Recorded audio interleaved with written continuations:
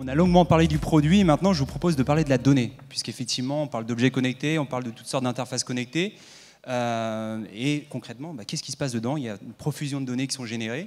Et ce qui se passe, c'est qu'aujourd'hui, il y a des nouveaux métiers qui émergent, notamment le métier de Chief Data euh, Officer. Et c'est pour ça que je vous propose, et on a la chance de l'avoir, le Chief Data Officer de The Economist, Stéphane Père, qui va vous parler concrètement de ce qu'ils font chez The Economist autour de la data. Stéphane? Oui, ça va être un peu aride. Hein. Data, The Economist, juste avant de déjeuner. Euh, j'imagine que ça va être un peu un challenge pour vous. Euh, bon, j'ai quand même une bonne nouvelle. Euh, c'est que je ne vais pas vous parler de The Economist.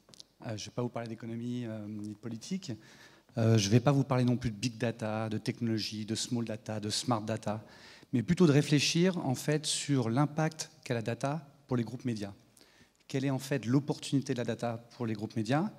Et quel est le principal frein euh, qui s'oppose à son essor, euh, c'est-à-dire l'usage par les groupes médias. Euh, oui, j'ai dit que je ne parlais pas d'économie, mais quand même, je ne peux pas me, retenir. oui, la data est une source de valeur, c'est évident. On appelle ça la data maintenant, ça s'appelait la donnée avant. ça a toujours existé. pour les groupes médias, on était plutôt dépendant sur l'analyse financière, combien mes clients me rapportent, quel est le panier moyen, mes annonceurs, on était intéressé sur euh, euh, l'audience, la taille de l'audience, qu'est-ce qu'elle est en croissance ou pas. Mais en fait, aujourd'hui, la data est une source de valeur au niveau corporate. C'est un actif stratégique. C'est-à-dire, ça participe même à la valorisation de l'entreprise. donc, j'ai fait l'exercice de regarder en 2013, en fait, le poids de la marque dans la valorisation des entreprises. on aimait penser que la marque était environ 40% de la valorisation d'une entreprise cotée en bourse. C'est toujours le cas. Si on regarde une entreprise comme Coca-Cola, c'est un peu plus de 40%. Euh, maintenant, si on se plonge sur d'autres acteurs, d'autres types d'industries, euh, on peut se rendre compte qu'une entreprise euh, comme Apple, la marque pèse 20% de la valorisation. Une entreprise comme Amazon, la marque pèse 14% de la valorisation. Et une entreprise comme Facebook, la marque pèse 4% de la valorisation.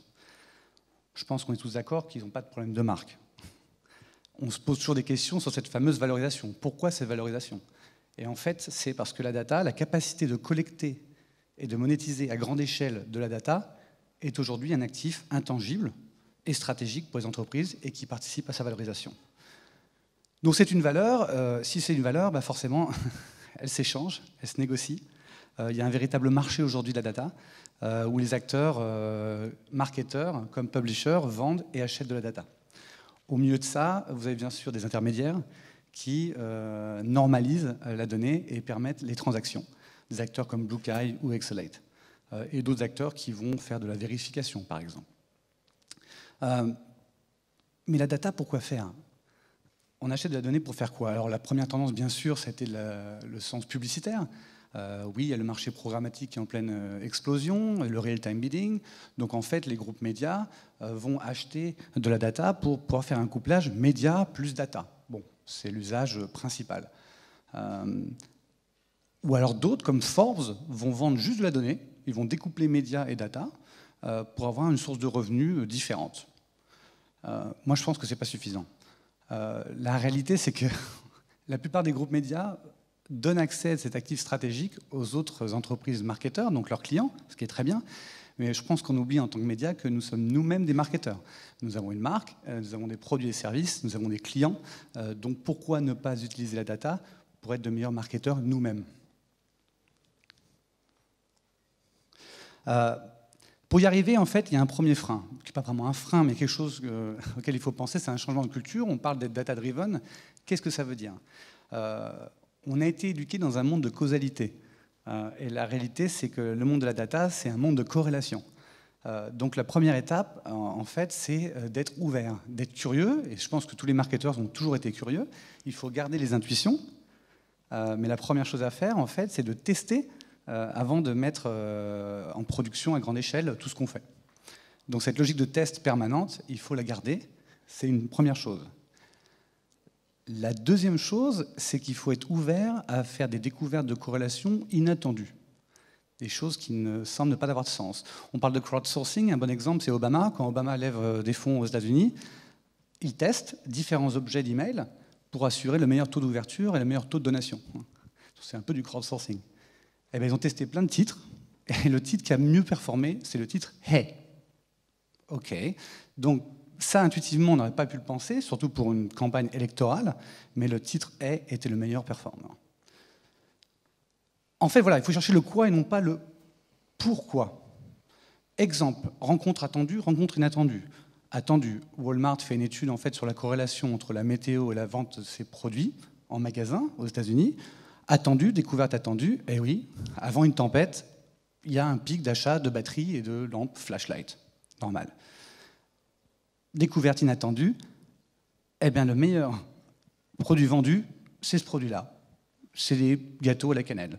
Ça n'a pas forcément de sens, mais maintenant ils savent qu'en termes de réassort, il faut travailler là-dessus. Alors, pour revenir un petit peu sur la data pour les, les publishers, en fait, elle sert à mieux comprendre ses consommateurs. Très simple. Et pour y arriver au mieux, il faut croiser les différentes sources de données. D'abord les données internes. Euh, et souvent, ce sont des silos dans les entreprises. Vous avez d'un côté l'équipe Web Analytics, avec euh, comment les consommateurs euh, engagent avec les plateformes digitales, quand, comment, où, combien de temps, combien de fois. Et vous avez l'autre base de données qui va être la CRM avec ceux qui s'abonnent, combien ils dépensent, où ils sont, quel âge ils ont, depuis combien de temps ils sont abonnés. Et puis un troisième pan interne qu'il faut ramener ensemble, ce sont tout ce qui est les campagnes. En fait, tous les contacts qu'on a avec les consommateurs. Les campagnes internes éditoriales, mais aussi les campagnes médias, search, display et autres. Donc quand on ramène tout ça ensemble, on permet d'avoir une vue d'ensemble beaucoup plus enrichie au niveau du consommateur sur son exposition et son parcours avec la marque. Et en fait, en termes d'externe, vous avez deux, deux, cercles que vous pouvez explorer. C'est enrichir cette connaissance client avec le premier cercle qui, pour moi, fait partie de l'audience, euh, à savoir le social media, en important des données euh, social CRM pour mieux comprendre un peu les aspirations, les goûts euh, de vos consommateurs, et aussi après en faisant appel à tous les acteurs euh, tiers qui vendent de la donnée. le but, c'est quoi? Les questions sont les mêmes. On s'est toujours posé les mêmes questions. Vendre, mieux comprendre. La, seule différence, c'est que les réponses sont différentes, il y a de la technologie maintenant pour y arriver. et en fait, on, a toujours les mêmes, les mêmes questions. Un petit exemple de, croisement de données, en fait, ça veut dire quoi? Ça veut dire que, par exemple, quand on vend des abonnements, ce qu'on aime bien, c'est que l'abonné renouvelle, évident. Donc on peut se dire, tiens, j'ai regardé un segment de, mes abonnés qui vont arriver euh, à échéance dans trois mois. Ce sont des abonnés qui ont l'édition iPad. J'ai remarqué que ces abonnés, autre base de données, euh, ils lisent plutôt les articles de finance.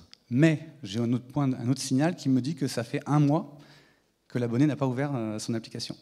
Très clairement, alerte rouge, cet abonné ne va euh, vraisemblablement pas renouveler son abonnement.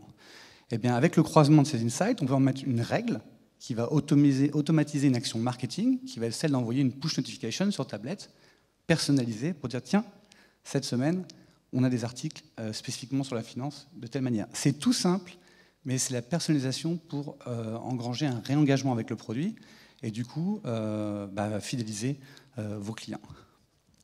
Donc les usages de la data sont multiples. Vous pouvez personnaliser bien sûr vos démarches marketing, donc le ciblage, mais vous pouvez aussi personnaliser la créa en elle-même, l'adapter. Euh, vous pouvez euh, automatiser vos actions, et ça c'est important parce que plus on crée de segments en termes de marketeurs, plus ça devient un cauchemar euh, pour mettre en place. Si on vous dit demain vous devez faire 10 emails différents pour 10 populations différentes, ça va être compliqué. La bonne nouvelle, il y a de la technologie pour faire ça. Donc il y a plein d'applications et il y a vraiment cette idée de, comprendre tous les points de contact avec les consommateurs et de faire véritablement une bonne compréhension des parcours clients sur tous les points de contact et d'avoir en tant que marketeur une meilleure compréhension euh, de comment dépenser euh, ces dépenses marketing euh, là-dessus. Alors le frein, le frein c'est lequel? Parce que la bonne nouvelle c'est que la technologie est là et le coût de la technologie baisse, donc c'est encore mieux. les compétences sont là, euh, on n'a pas besoin d'avoir de, data scientist pour. Euh, j'en suis un bon cas, je ne suis pas du tout quelqu'un de data, euh, pour, pour bosser sur les logiques de data. Il faut juste des gens qui se posent de bonnes questions et, pour essayer de résoudre des problèmes quotidiens. le véritable frein, certes, c'est data-driven, la culture de test, mais ça, elle existe déjà. moi, j'aime le qualifier, ce principal frein, en fait, c'est que j'appelle ça le syndrome de Gollum. Gollum dans Le Seigneur des Anneaux. Euh, c'est une, source de, c'est une sorte de trouble obsessionnel possessif. Euh, comme je vous évoquais, la connectivité de la data, c'est, euh, une sorte d'atteinte même à la structure d'une entreprise. le département marque, le département abonnement, le département publicitaire. Et certains départements ont ce trouble obsessionnel possessif qui veut dire mes clients, mes emails, mon précieux. Et ça, et ça, ça prend beaucoup de temps à, changer. Et euh, c'est sûr sur quoi il faut, pas, faut, il faut, il faut travailler, car c'est l'unique frein en véritable, véritablement pour les publishers pour devenir euh, de meilleurs marketeurs euh, avec l'utilisation de la data. Et pour en conclure, 37 secondes, oui, l'étape, en fait, c'est surtout de faire preuve de beaucoup de pédagogie, expliquer aux marketeurs en interne que vous êtes là, en fait, pour rendre leur, vie plus facile, faire en sorte qu'ils euh, passent du temps sur l'analyse et l'optimisation et non pas sur la mise en exécution, euh, faire comprendre que, en effet, la data est un actif corporate stratégique et, que chaque action dans chaque département a un impact au niveau corporate, donc il faut partager tout ce savoir. Mais la première règle en interne, si vous voulez faire les choses avancer, il ne faut surtout pas commencer en parlant de big data. Merci. Merci beaucoup.